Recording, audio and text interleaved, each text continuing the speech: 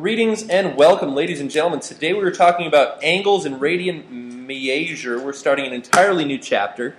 And uh, so, in terms of angles, so far we've talked about them in terms of degrees, which, just so you know, degrees are not a mathematical discovery or concept. The unit measure of a degree is a man made concept. All right, just like the idea of measuring a distance using fathoms or feet or inches, those are all man made measurements. Okay?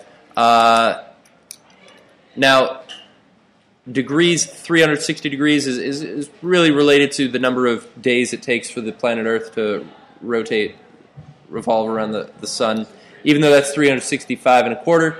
And even though ancient cultures knew this, they uh, still chose to use 360 for a number of reasons, primarily because it is easily divisible uh, has many, many factors, things like that. But yeah, I think it was a Babylonian concept, something like that. But uh, so today we're going to learn a different way of measuring an angle that is actually mathematically more friendly. Okay, and this is the idea. Suppose, suppose, suppose I've got uh, a circle.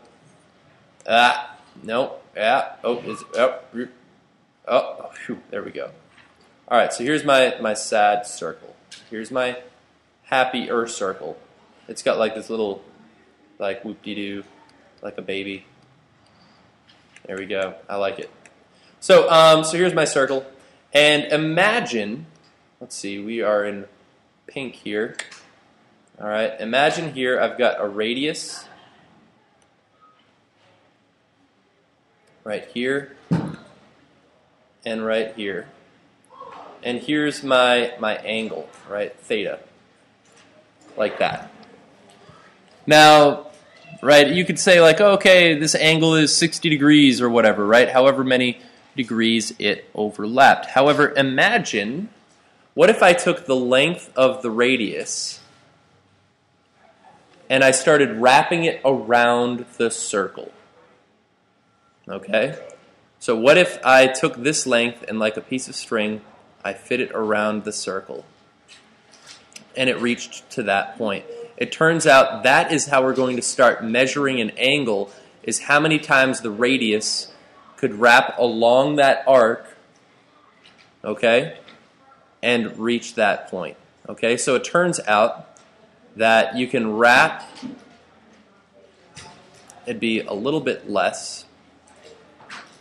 All right, so here would be like three of those values, three radians. This is called a radian. Is the number one full radian is the length of the arc that one radius wraps. And over here, it would actually be a little bit weird. Uh, do you have a guess as to how many radians would fit around a circle one full time? One full. It, uh, it'd actually be around six. And the reason that's true, it's around six, not exactly six, uh, I'm talking about the circumference of a circle.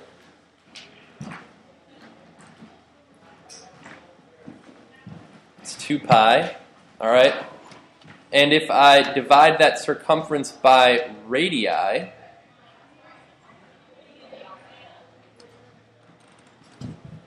If I divide that circumference by radii, how many times does a radius fit around that circumference, right? I would get c over r is equal to 2 pi. Or 6.28, is it 1828? I don't remember. What is the old 2 pi these days? 6.28, sorry, way off. Oh, I was thinking of E is uh, 2.781828, 1828, I think, something like that. But 6.2832, we'll call it, is the number of times a radius could fit around one revolution of a circle. Okay? That's the idea. So it turns out that this is a, a radian. You don't like circles? Sorry. You don't like circles their streets? all have So one radian, okay, is the length of the arc that one radius would fit. Okay, so this is a radian. A radian. One radian. Okay? Now it turns out uh, because a full circle is 2 pi radians, all right, so that means, what do we know? We know that 360 degrees is equal to 2 pi radians. All right, we'll actually end up being able to develop a uh, conversion between degrees and radians. And uh, because uh, one full revolution is 2 pi radians, it turns out most all of our radian measurements will not be whole numbers, but will be irrational. They will be written in terms of pi. Okay? Interestingly enough. Uh, so if one full revolution is 2 pi radians, what's the degree measure of pi radians? Half of a full circle or 180 degrees, right? Perfect. Okay? And with that in mind, 180 degrees is equal to pi. What would one degree equal in terms of radians? Uh, Pi over 180. Pi over 180? That's going to be valuable. And then what would one radian be?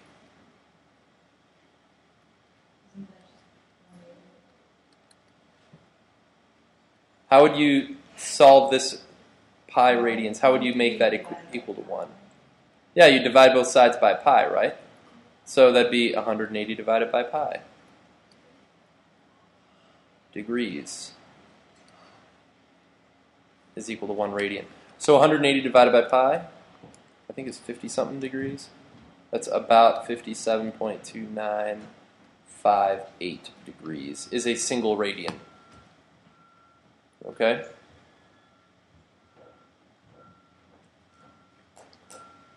So that's that's the idea. We end up using this sort of measurement, and it turns out that math is kind of universally friendlier to radians than it is to degrees, because, like I said earlier, degree that measure really didn't have anything to do with math. It was just like they came up with a, a measurement length and then just used it.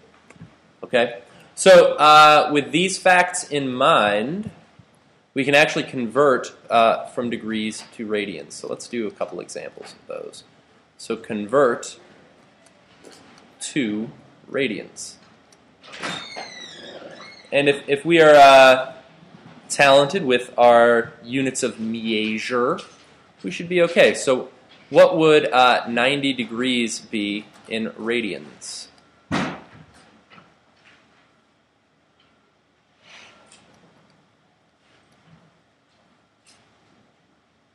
Do you want that pi? Yeah. So to convert, this is in degrees. What I could do uh, to convert that is if I multiply by pi over 180. All right. I will get pi over 2 radians. Which is the same as 1 half pi, but typically uh, we'll just leave pi in the numerator of our values. How about 135 degrees? What could I do? Once again, multiply by pi over 180.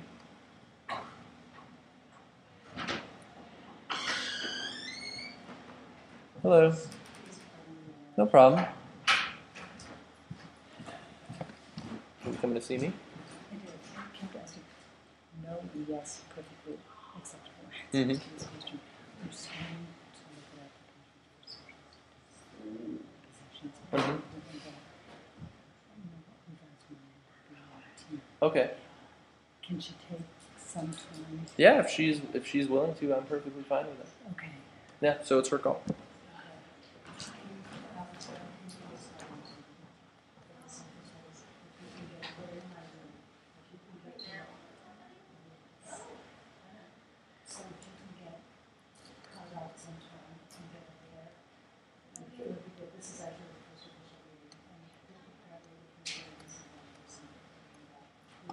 So, uh, so what we have here is 45 degrees goes into both 135 and 180, right? So it fits in three times and four times. So I end up with 3 pi over 4 radians, right? And, and think about this. Uh, so I've got pi radians per 180 degrees, right? So by multiplying by that, the degree units would cancel out, and I'd be left with just radians is kind of what, what this is coming from.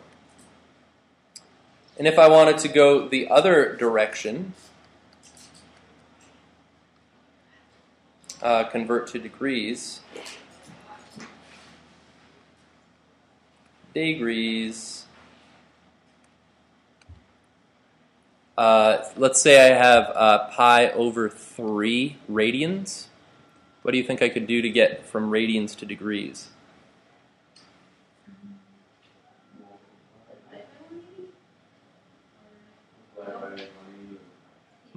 Multiply by 180 over pi, because there's 180 degrees per 1 pi radian, right?